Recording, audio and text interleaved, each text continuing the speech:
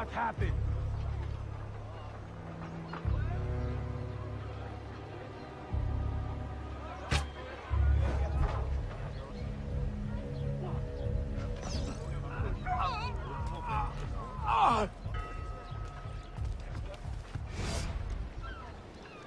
Don't kill me! What do you want? Stop slandering the Grandpré's reputation. Close your deceptive booth, clean the market of your insipid handbills, and issue a public apology. All right, I'll apologize. I swear. What's this? Coffee? How are you feeling? A touch nervous? Itchy? All right, look, I, I'm desperate. I, I can't keep my slaves from escaping. I lose money every day, and all my stock is in tea.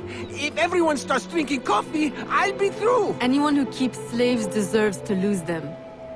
Next time, remember, far worse things can haunt a man than lost business.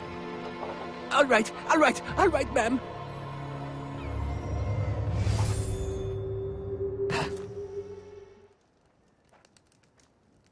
He'll be no more trouble.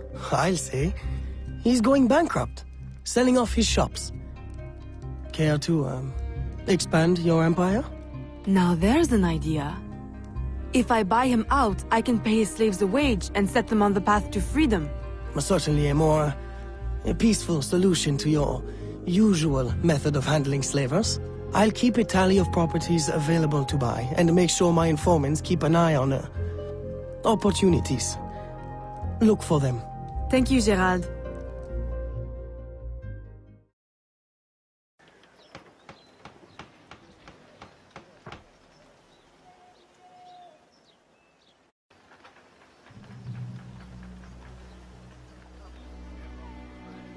Salutations.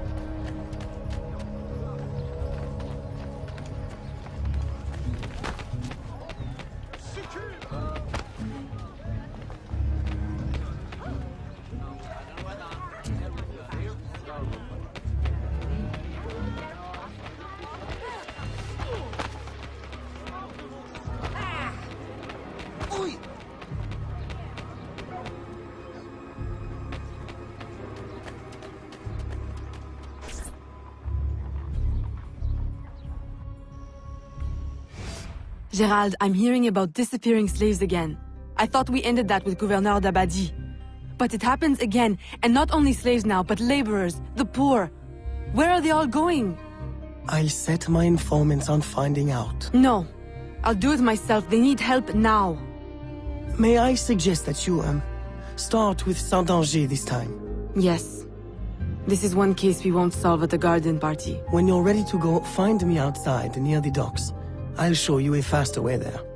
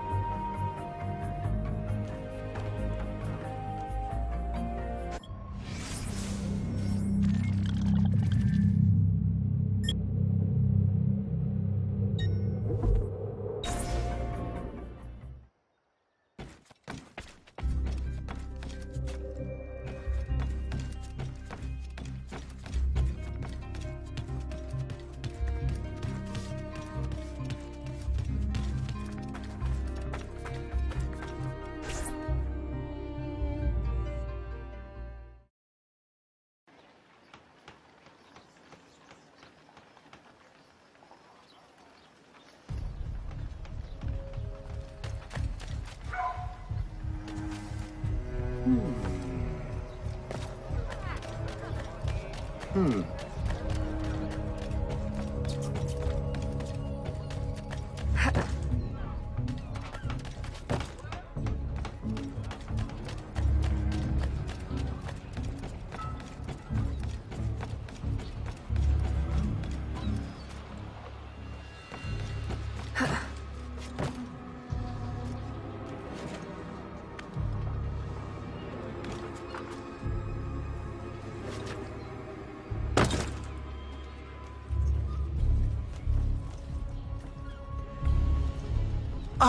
Aveline.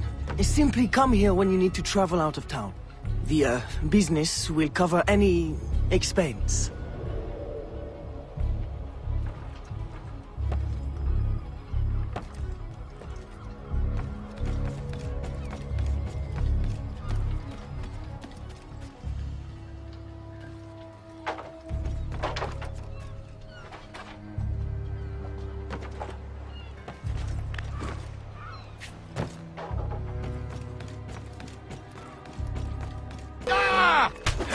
Ah.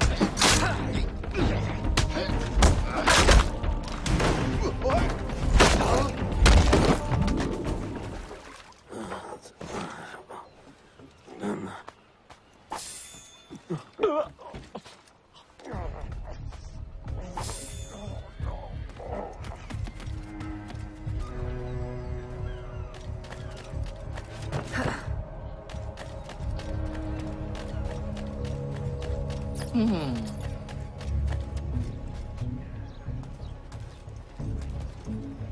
I am not easily bought.